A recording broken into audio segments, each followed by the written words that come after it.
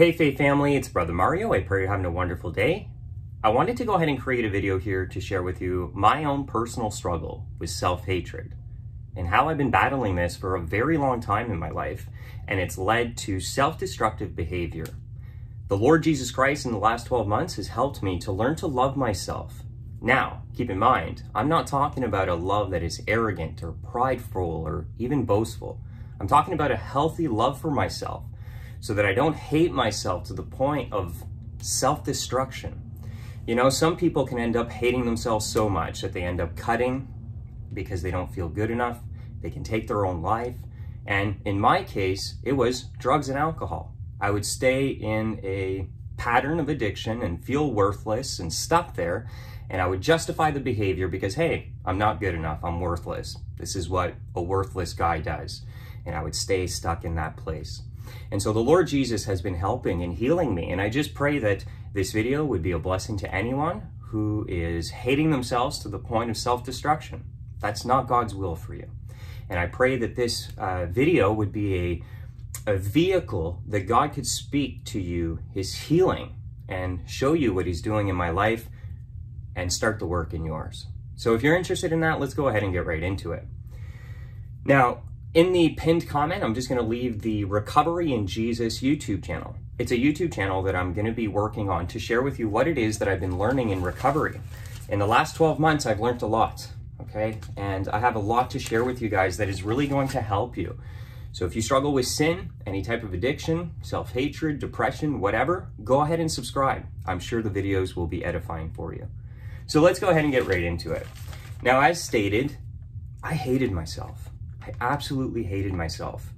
And um, where does this come from? Okay, so over the last year, I've been trying to figure this out and, and to come to a place of healing. And I believe that the reason that I have this identity is because of a generational curse, a generational trauma.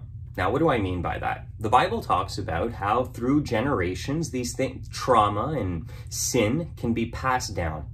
And I love my father with all my heart. But my father was a victim of generational trauma himself. His mother, he could never be good enough. She criticized him and put him down for everything that he did. And so my father grew up with this trauma, this generational curse. And then unknowingly, my father in many ways did the same to me. In a way lesser way. My heart goes out to him because what he suffered was way worse than what I did. But unfortunately, my father passed it on as well. I remember being a kid and I could never make dad truly proud. I remember one time I came home and I had an 85 on a test and dad, well, his comment was, why isn't it a 92? In a joking way. But in a way he wasn't joking and I knew that and it really hurt me. A little boy is looking um, to please his dad, right? And so when I really realized that I couldn't do that, it really scarred me and hurt me. And it started to impose this, this concept within myself that I wasn't good enough. And then I got to being a teenager and me and my father had horrible uh, fights and I started to rebel big time. And so my father unwisely would start calling me a punk and a rebel. And I remember being 13 and this really, really, really affected me. And I remember being like, yeah, dad, you think I'm a pump? You think I'm worthless? Well, I'll show you. And it just fueled my rebellion even more. I just wanted to upset him more. I wanted to fight with him more and pick the buttons. And it was all out war. So through all of this, um, there was a lot of trauma that, that I took on. And one of those traumas was that I really didn't feel good enough. I felt like I was worthless, a loser, a punk, a rebel, um, an outcast. I would never be accepted by society or my, my family. And it really just messed me up. Now, at that place in my life, what I was doing is I was taking pride and arrogance and I was covering up the fact that I really hated myself. Um, which is why for a long time I didn't even see that I had this within myself, that I truly hated myself because I would um, cover it up through arrogance and pride. So a lot of us will hide our insecurities with a mask of pride and arrogance. It's a defense mechanism because we are trying to hide other people, maybe even ourselves, from seeing what's actually inside.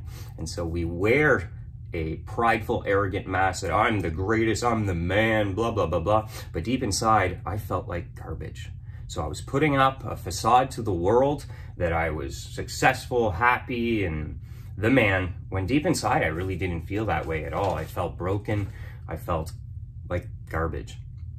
Now, one of the things that I struggled with with this was um, I started to develop a critical spirit.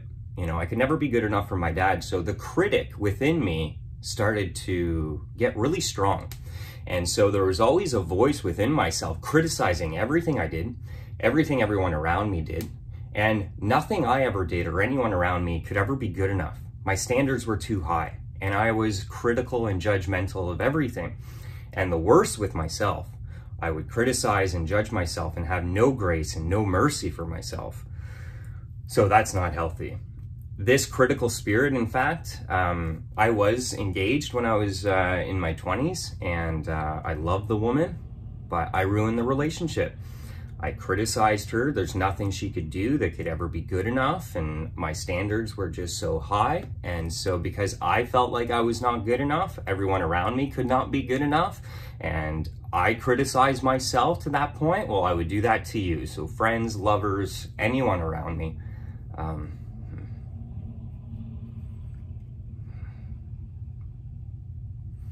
I'm to try and keep it together. I cry a lot in videos, but I'm sharing some pretty intimate stuff. So that's really hard. And um, it's been very damaging to lose people around you that you love because of a critical spirit. And so uh, the Lord brought that up. Now, how God has been bringing healing to me in this area is uh, through the Word of God. I believe that this has to do with an identity issue. The enemy has put a belief in me at a deep level. This lie has been deeply rooted and seated in me that I'm a screw up.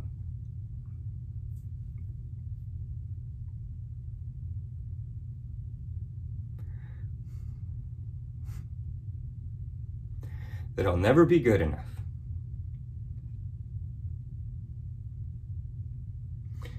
That I'm a child of the devil, I'm a failure, I'm condemned, I'm worthless.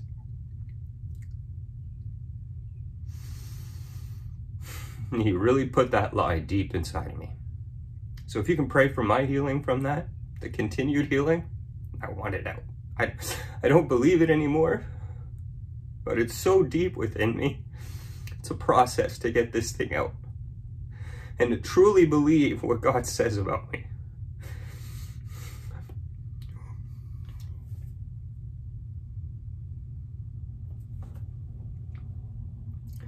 So how I've been healing is um, trying to identify the lies of the devil. When I'm feeling worthless, not good enough, a failure, a mess up. To recognize that that's not the voice of God in my life. God doesn't see me that way, nor does he want me to see myself that way. That's the accuser. That's the devil constantly trying to accuse, criticize, condemn me. And so, to heal from this, what I've been doing is I've been proclaiming God's truth over my life. You see, this is the beautiful thing about the gospel.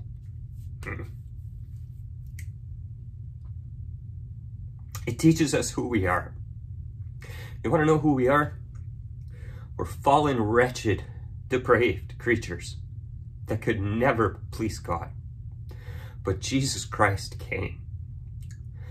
He lived the perfect life that we never could. He, you ever see the picture of Jesus and he places a white robe over a sinner? It's called the imputed righteousness of Jesus Christ. By faith, I receive a beautiful gift. And what that is, is Jesus Christ places his robe of righteousness over me, his life. I'm covered in him so that when God looks at me now, now that I am in Christ and I am abiding in Christ, he doesn't see Mario and his failure.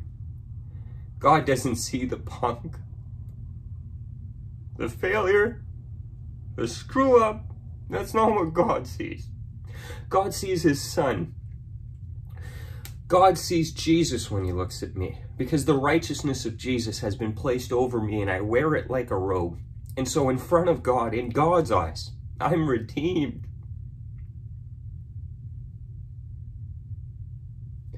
I'm new. I'm loved and I'm cherished. And that's who I am. And um, so I've been going through a big healing process and uh, it's, it's still happening right now. I, I, this is a big one. We're talking about something that's deep within me. But how I'm healing is by learning to see myself as God the Father sees me in Christ Jesus, who I truly am. Gifted, blessed, forgiven, new, righteous, all those things.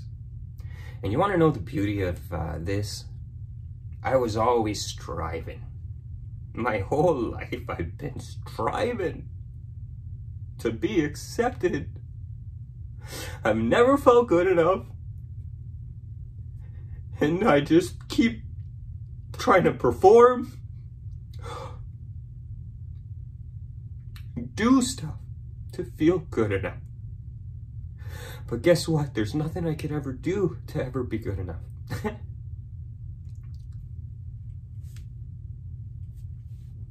that's a beautiful thing. I don't have to be. God loves me as I am. He meets me where I am. He loves me where I am. He doesn't love a future version of me. He loves me as I am. And that's a beautiful thing. And so with that love, that true identity that I have in God, as you can see, I'm experiencing one of the most profound healings of my life.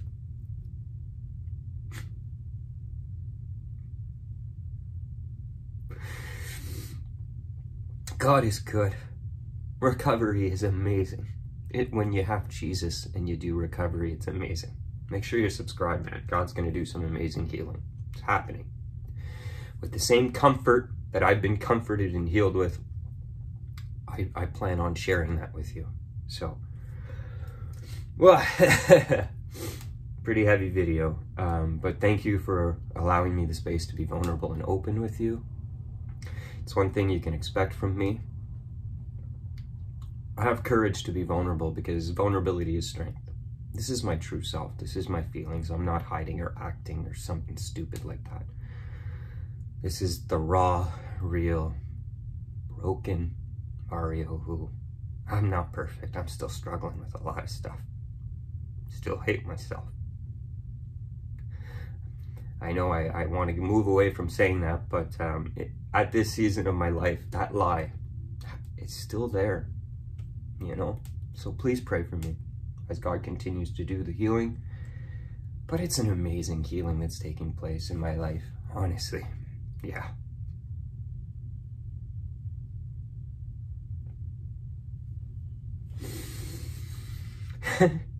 Jesus is so good. Yeah. If you can pray for me and my father, I would appreciate it. But that's it. Listen, if you've been following to the end of this video and you hate yourself, I don't know how that's manifesting in your life, Maybe you've become critical of yourself. You can never be good enough and criticize everyone around you and your standards are too high and you're stuck in a pattern of performance to feel accepted. Maybe that's it. Maybe you're cutting yourself. Maybe you're um, losing the desire to live. And um, it's rooted in the accuser condemning you and taking your life with every condemnation. Please know that this is a lie. Don't become loving yourself in the sense of pride and arrogance, but love yourself enough to not hate yourself. God saved us. Learn who you are in Christ Jesus. Thank you for allowing, again, um, me the space to do this. I love you guys. I really do. Um, I pray this was a blessing for you. Stay sober, stay vigilant, and fear no evil.